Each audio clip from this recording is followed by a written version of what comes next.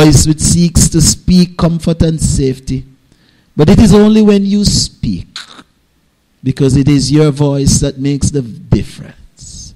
We pray, Lord, that you will speak to the hearts of the family members. For those who are prone for vengeance, remind them, leave vengeance to you. For you and you alone know how to handle it. We pray for those who have committed this wicked act, or we pray that they will seek redemption in you. They'll turn to you and give themselves up, Lord, so that they will recognize that where there is evil, there has to be a recompense. We pray then for this nation, and we ask that you will continue to guide our thoughts and our spirit. In Jesus' name, amen. Just a quick plug for the Global Leadership Summit, which comes to us on the 22nd and 23rd. I am asking the persons who have been there, um, please note, Sister Joy is taking the names for me, and we hope to do the registration this week. It has to be this week because, as you know, it comes up on the 22nd and the 23rd. If you have never been there, speak with Sister Joy. She will tell you it's a leadership summit, special and unique, and we encourage you to be a part of it. All right, so please register um, with Sister Joy. We have to send the registration in this week. We continue our reflection then on our missions and evangelism focus for this month of October. I have invited the reading of Acts chapter 2 as the basis for our reflection today. I can't be too long today because I have to go to Dumfries. Some of you are going to say amen. Thank the Lord. But I'm inviting a reflection, and I hope that before the month is out, I'll be able to come back to the passage because it's a very exciting passage. It's a very exciting passage. For those of us who God has called, He has commissioned us to share the gospel. There are some lessons in this passage that are very important for us to grasp and to practice. So last week, we reflected on John's Gospel, chapter 3, and we reflected on the experience of Nicodemus. Nicodemus was a well cultured religious man, he was a leader, and he experienced a crisis of faith because after being so meticulous in his religious practice, he came to the place where he recognized that there was no joy, there was no satisfaction, and above all, there was no assurance of eternal life. It is a word of warning for those of us who go to church. We look good. We talk the language at church. We know how to greet one another. We know the scriptures, but we don't internalize them. We don't believe. We haven't come to believe. And Jesus, through that experience, took the time when Nicodemus come to him in the night. And I believe that Jesus spent a whole night with him. John summarized the experience there. But I believe that Jesus spent the entire night with him trying to explain to him what it really means to experience God. And we reminded him that one, works can't save you. Two, God is doing something bigger than what you are thinking in your own mind. For God so loved the entire world a world of Jews, Samaritans, and Gentiles. In Nicodemus' mind and his understanding of his faith, it was only the Jews who had exclusive right to God. Jesus says, Not so. Jesus says, For God so loved the entire world that he gave his only begotten Son, that whosoever believeth in him should not perish, but have everlasting life. For God sent his Son not in the world to condemn the world, Not to condemn the world. Not to condemn the world. But to give the world an opportunity to be saved. God is working. Amen? God is working. God is doing a big thing. He's working. Acts chapter 2 now. Jesus has ascended to heaven. The disciples that he called unto himself, which we reflected on last month, where Jesus says, Come follow me, and I will make you, I will equip you, I will prepare you to become fishers of men. That mission comes into focus in Acts chapter 2. So Jesus is ascended into heaven. It is Pentecost. The Holy Spirit descends upon the believers. And Mark writes us a very exciting passage there. It is interesting. The main players in the issue of salvation God, the church, in this case, the disciples, the church, and the world. Comes together in this passage. Very interesting. Very interesting passage. So God empowers the disciples. He sends the Holy Spirit to continue to do that which Jesus started. To continue to do. It is important for us as the church, as the people of God, to understand why we are left in the world. Let your light so shine before men that they may see your good works and do what? Glorify the Father. Hello? We're not left here for our own sense of importance. Every believer who is left here has a mission. A mission. And this second chapter of the book of Acts speaks to it. So, this crowd that Peter is addressing, this crowd that Peter is addressing, is a typical crowd that the church has to minister to. There are those who have a knowledge of God. There are those who will give consideration to the things of God.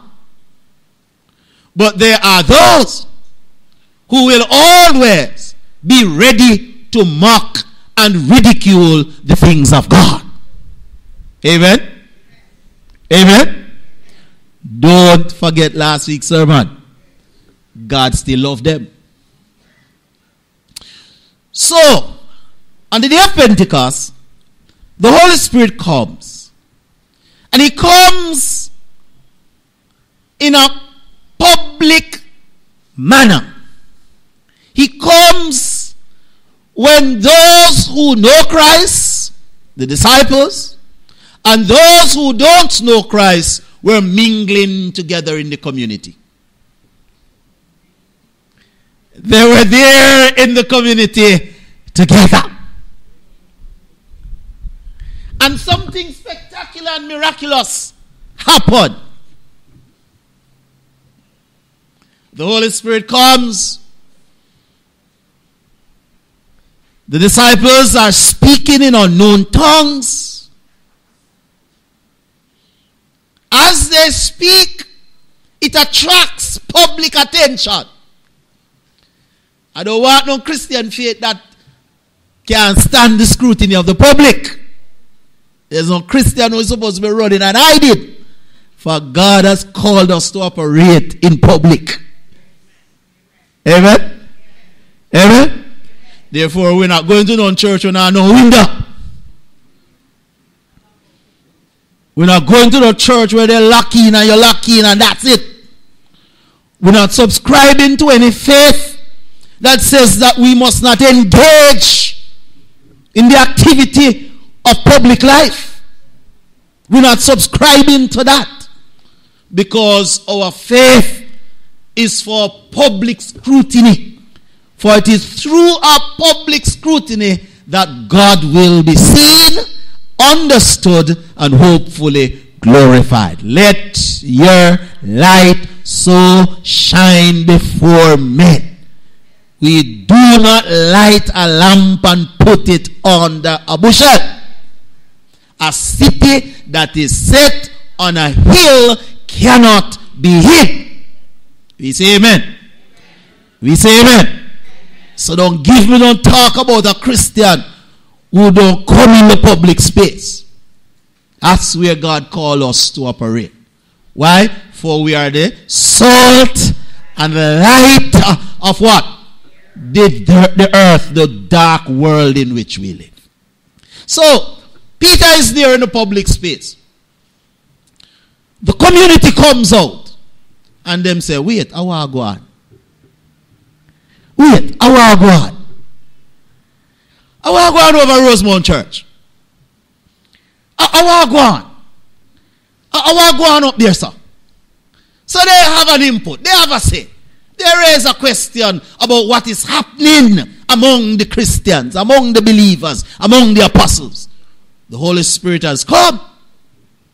And true to form, there are those who are seriously, genuinely seeking to understand what it is. Others have come, and in a couple seconds, they dismiss what is happening. What did they say about the disciples? Look how man, look how man in early. The man then drunk already. they are just light. How do them Christian people? How would they think they can fool? They just light and then junk. As far as they're concerned, we are idiot, then dismiss we, and then ready to go about them business. Where was God in all of this? Where was God when the, when the community is dismissing the church? Where was God when the community is dismissing a fresh and a new experience of God? God was right there. Praise the Lord. God was right there. So, yes, the crowd is dismissive. The crowd is ready to move on. And God raise up one of the twelve. When it comes to this issue of missions and evangelism, it does not matter how crude and disrespectful and dismissive the crowd is. This passage tells us this morning that God have some people there to be saved. Amen. Amen. From Peter's perspective, from the disciples' perspective, if they were like some of us Christians today, some of those people who this would have get peace away tongue. We'd have told them peace away mind. And we would consign them to hell. No, sir. No, sir. The reason why them behave like that, Pastor, because them ungodly are wicked. Them the people who go go to hell. And them the people God make hell fat. Now say hear some Christian talk. and if I me I did God, but I send them at the furthest part of hell, make them burn. That's a possible reaction. And very often you have some Christians that have that sharp tongue. But listen to me when the Spirit of the Lord comes upon a believer, it makes a difference. It does what? How you know that? Simple. Simple. Is who get up his talk. That's the most exciting thing about the text. Who rise up to talk? Who, who stood up to talk in this text? Peter. No, Step back a couple, 50 days before this. 50 days before this Pentecost experience. 50 days before this Pentecost experience. What kind of man was Peter? What kind of man was Peter? We know he was a sword swinging man. Him draw his sword and him say, We are going war. Imagine a man going to tell Peter 9 o'clock a morning saying junk and Peter no saying you know junk. Before this experience. Peter wouldn't catch his ears this time, he would have sure catch his neck. 50 days before this experience. This is a Peter who, in his anger, feeling that the Lord dissed him, publicly denounced Jesus. I don't know the man. Don't ask me about him. Three times he did it. So I no chance, I no mistake.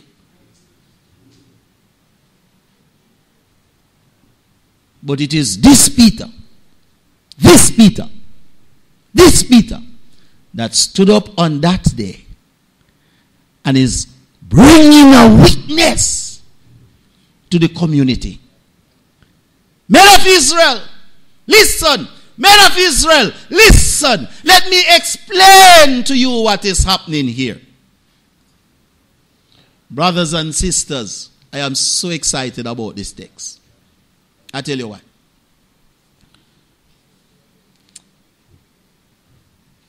When the Holy Spirit comes upon the believer, it is not to bring attention to the believer. When the Holy Spirit comes upon the believer, it is about empowering the believer to be a witness.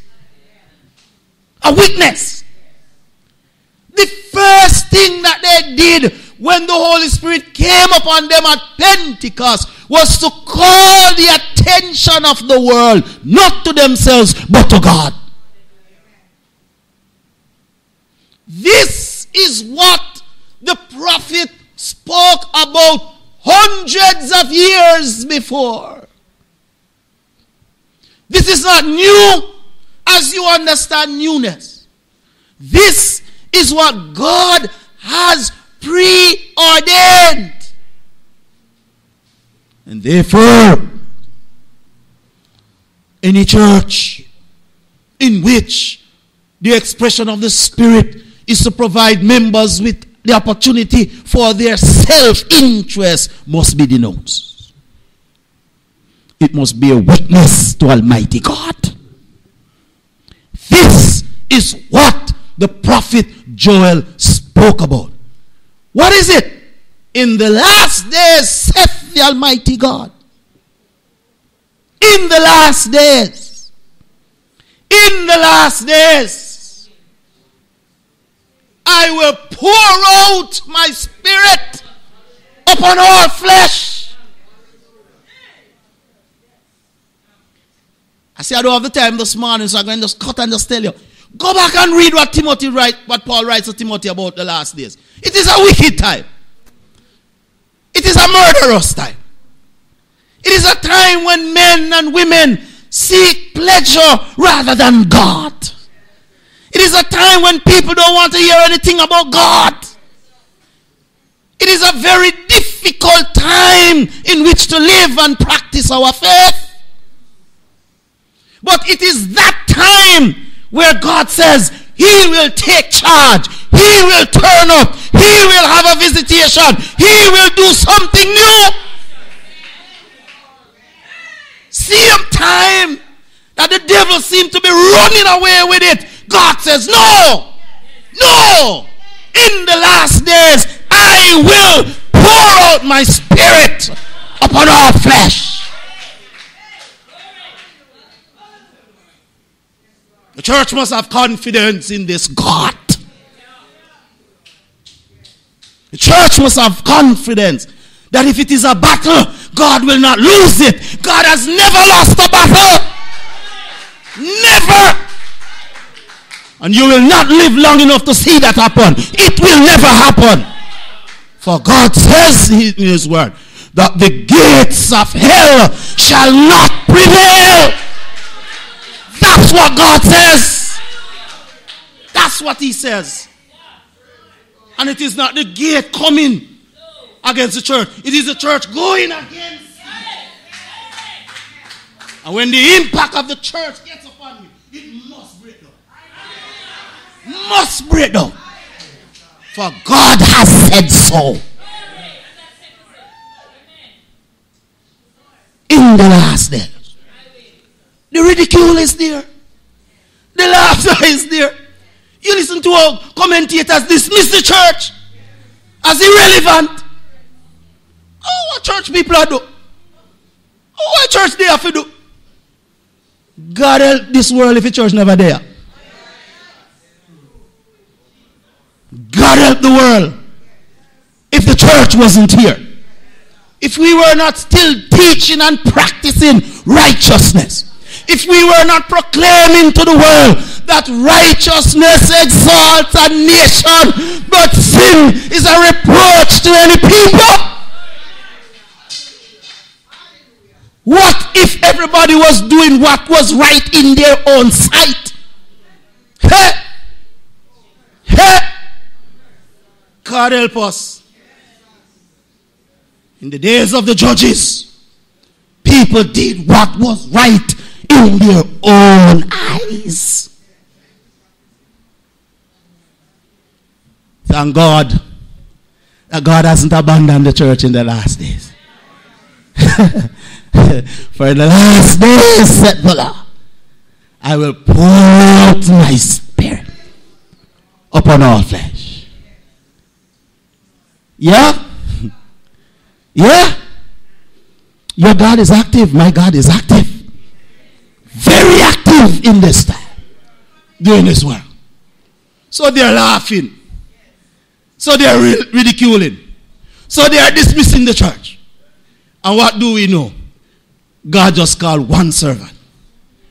Peter with the other 11, filled with the Spirit of God, empowered by the Spirit of God. Look here, I love this. He stood up, the others were in agreement with him. They gave him the space to speak, and he spoke to them. You see, when God calls a man, he's looking for a courageous man. he's looking for a courageous man. He's, he's looking for a courageous man. So, so, so Paul writes again to Timothy and he says, Timothy, look here. All I want me to describe going happen around you. But you have one task. Be instant. Preach the gospel. In season, out of season. Preach the gospel. Rosemount Missionary Church members, preach the gospel. Rosemount Missionary Church members, preach the gospel. Everywhere you go, preach the gospel. Don't tell people about your church culture. Don't waste time tell people about what we do at Rosemount Missionary Church. At Rosemount Missionary Church, we do. Do tell them what you do. Preach the gospel. Preach the gospel. Tell the man that from the guttermost to the uttermost, Jesus says. Jesus said. Tell the mothers who have lost their sons that there is hope in Jesus. Tell the mothers who are struggling with their 12 year olds who want to turn shatter. Tell them to go to church and pray in the name of Jesus. Tell them. No father in the house, you know, nobody if you grab him up and lick him down. Tell them Jesus. Tell them. Tell them. Tell them. Tell the young men driving flashy car. There is a way that seemeth right unto a man, but the end thereof is a way of destruction. Tell them. Tell them. Tell them. Tell them.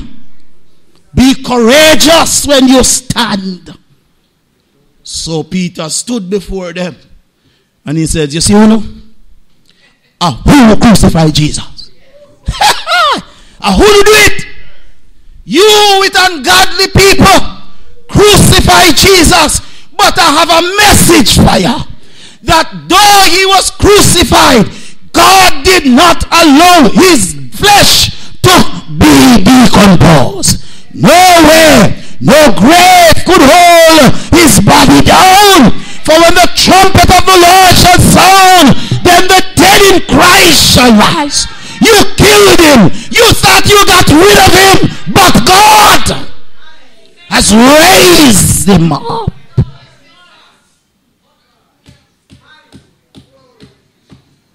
God. Devil send him come in buck upon. God, the Almighty One, who asks no question of man, who has never been instructed by man, who needs no power from man. God is God. He is the Almighty God, creator of heaven and earth. Peter said, You crucify him. You crucify him. Yes, that's what you did. And you were glad, you were laughing, you were happy. But God, but God, but God, but God, but God. God have a plan that must come to pass. God have a plan that must come to pass. Nobody and nothing can stop it.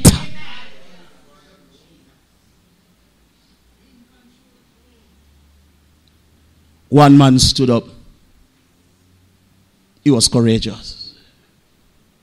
Discerning the times by the Spirit of God. And he declared with conviction. There are too many Christians who don't conviction, you know. You have conversion, but you know no conviction. You don't believe a thing while you're reading the Bible. I believe a thing. Church is just a nice place where you go. Meet some nice people. Hug and kiss and sing and go back to your yard. Oh, we need some conviction in your soul this morning. To say that this Jesus, this Jesus, whom you have crucified, he is risen. He is alive. And he is alive forevermore.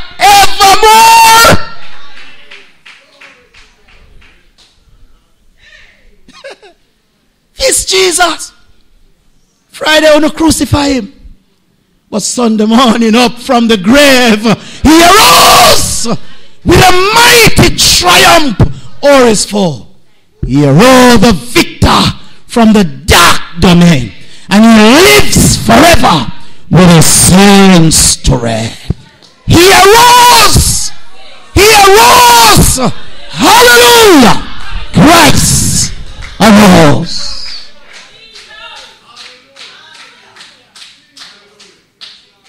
Oh, yes. Oh, yes. And the songwriter says, I serve a risen Savior is in the world today. Do you serve him? Do you serve him? Does it matter what men have to say? If are you alone, I go live and pray and worship Jesus in a Jamaica, will you do it? You do it? Do you have that conviction? Hmm? What the songwriter puts it, I have decided to follow Jesus. No turning back. No turning back. Don't go with me. Still I, I will follow. Why? For I have decided to follow Jesus. Yes, you crucify him. You were there. You were there you readily agree with them when they crucified him. But God, hallelujah. Isn't that the story of salvation? It's not the story of salvation. So while they are there in the crowd, laughing and just dismissive and disruptive, just dismissing the church and the things of God. God by His Spirit. Just say, look here, I may create you, I may have you, may mark you out for salvation. Come! Come! And even while Peter speaketh, and he told them about this salvation. He says, Whosoever call upon the name of the Lord shall be saved. Repent. Turn from your wicked and godly way.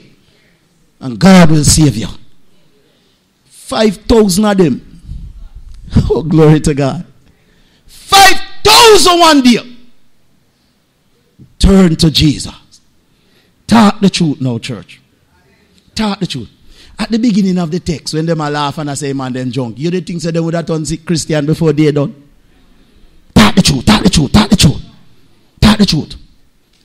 I am saying to you, you will see some people today out there, this in church, say no, no go so. You see when Spirit of God doing thing? You see when Spirit of God doing thing? When I was growing up, we used to sing a little song. They got to move. They got to move. You remember? They got to move. They got to move. When God get ready, they got to move. You may be white. Mm-hmm. You may be black. You may be what? You may be poor. When God get ready, you got to move. You got to move. You got to move. Yes, you got to move. You got to move. When God get ready, you got to move. You may be, you may be, you may be, you may be low. When God get ready, you got to move. Yes, yes. Yes, yes, yes. While they were there mocking, the Spirit of the Lord came forcefully and He brought a conviction to their souls. And they asked, What must we do to be saved? Not done yet. Not come down yet. But the Spirit of God is moving. Is moving. Is moving. Is moving. Is moving. Comes into their experience. Challenge them. Show to them that there is a hell to show and a God to glorify. And before the day was out, the record says 5,000. 5,000 5,000 get saved. How much sermon was preached? One. One. What was different from this proclamation? It was the Spirit of God. The Holy Spirit of God possessed the being of Peter, spoke in him and through him to the praise and the glory of Almighty God. It seems to me then that there are some people God have out there to be saved, but your mouth need to open. It seems like your mouth, the one that you you have, God wants to use it. He wants to touch it and use it to His praise and to His glory. You may have never preached before. That's all right. You have no resume with how much sermon and how much conversion has come because of your evangelistic outreach. Perhaps you have never opened your mouth before. Ask God today. Ask God today. One prayer. Spirit of the living God. Spirit of the living God. Let's do your work in me today. Touch my lips. so that I may speak. I may speak only as your spirit bids me. Open my eyes, Lord, so that I will be able to grasp what's happening around me. Grant me the spirit of discernment. Let me understand that though they may be mocking today, before the day is out, they will be praising you. Such is a confidence in our God. And it is all because of the blessed Holy Spirit. Let us pray.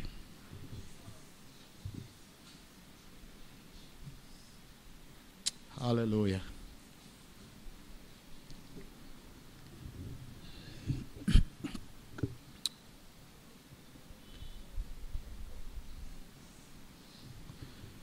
Thank you, Lord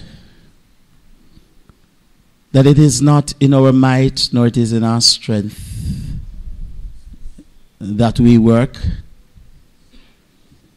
Thank you that it is not in the verbosity of words. And thank you, Lord, this morning that it is only as we wait upon you patiently and invite your Spirit to work in and through us that your purpose will be made manifest. I pray for the life of this church.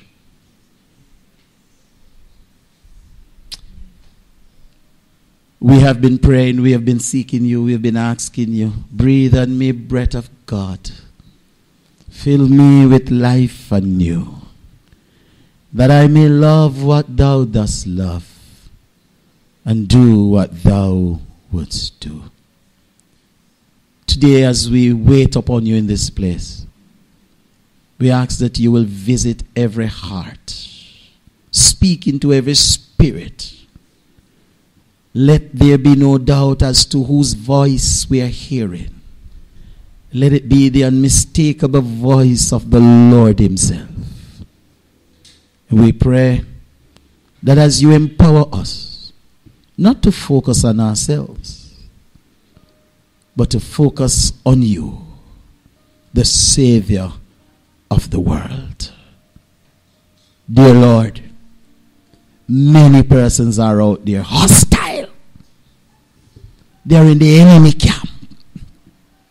We pray for courageous Christians this morning who, empowered by the Spirit, will march to the enemy camp and take back what he has stolen from me. Oh God, today. Oh God, today we pray that you will touch lips, you'll touch hearts, you'll touch feet, you'll touch hands, so that that which you have called us to accomplish will be realized. And it will bring praise, glory, and honor to your name. For Christ's sake. Amen. Allah be with you.